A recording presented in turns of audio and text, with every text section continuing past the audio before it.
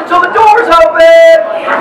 But it'll all be worth it once we get inside and get all those sweet Groundhog's Day deals. It's so rare for Lowe's to have a sale this big. That buy one get one on fertilizer is all mine, baby.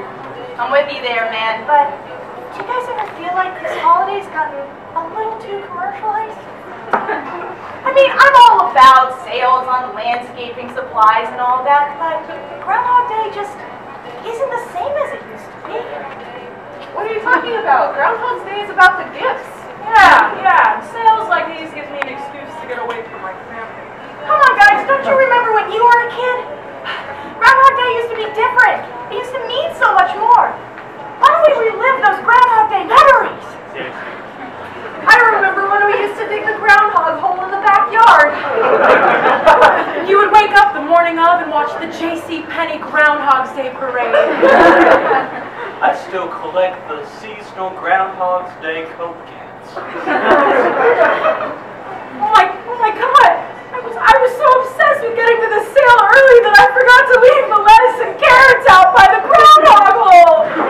What kind of example am I setting for my children? Go. Get out of this line and go teach your kids the true meaning of the holiday. There's still time. You're right. This will be a Groundhog's Day they will never forget.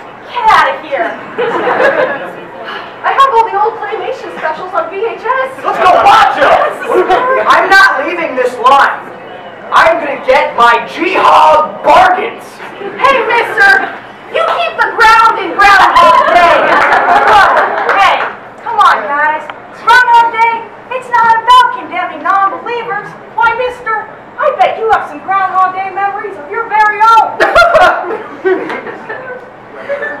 Do you know what it's like to get ridiculed every year for having the name Phil on Groundhog's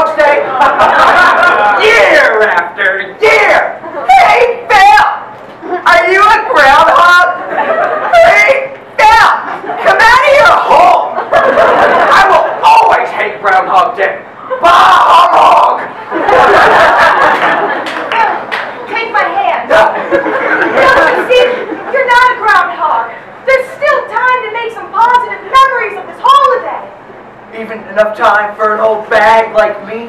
I know there's a kid in there somewhere. Come on, let's go. Okay. Hey!